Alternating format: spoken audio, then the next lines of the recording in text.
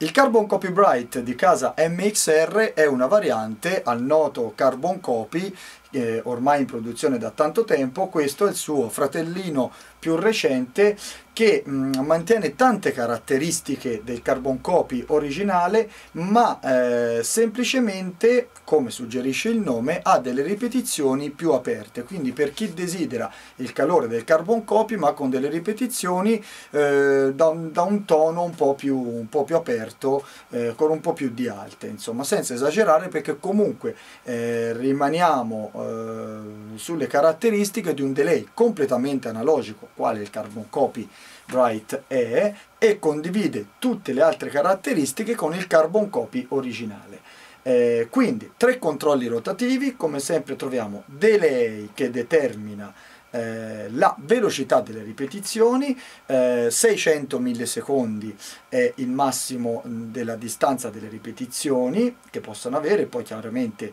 eh, con il controllo rotativo troveremo la nostra regolazione ideale controllo di mix che miscela mh, il suono dry dal suono effettato, regen che controlla la quantità delle ripetizioni che voglio avere fino ovviamente a mandarlo in auto oscillazione quando i controlli sono un po' estremizzati come succede con i migliori eh, delay analogici.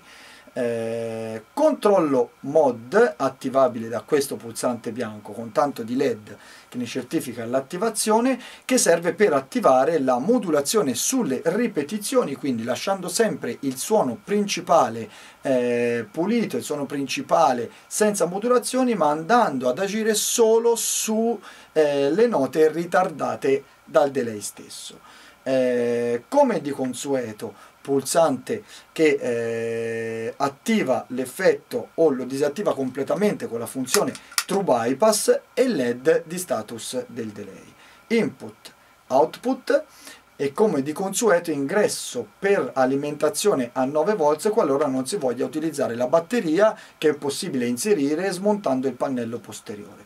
Sempre sul pannello posteriore smontandolo troviamo le due regolazioni per regolare la modulazione. Infatti eh, il pedale come vediamo è stato lasciato come del resto suo fratello molto pulito eh, nella parte principale. Se voglio andare ad agire sul, eh, sul rate e, e, sullo speed della modulazione posso farlo agendo sui due controlli rotativi che trovo all'interno.